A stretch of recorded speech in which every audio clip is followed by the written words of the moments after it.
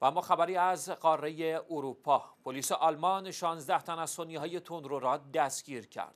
در عملیات ضد تروریستی پلیس آلمان در ایالت هسن 16 تن از سنی های تندرو به اتهام ارتباط با گروه های تروریستی دستگیر شدند. در این عملیات نیروهای پلیس آلمان 54 واحد مسکونی که احتمال حضور تروریستها در آنها وجود داشت را مورد بازرسی قرار دادند که در نتیجه آن 16 تن از سنی های تندروی مرتبط با تروریست های داعش دستگیر شدند.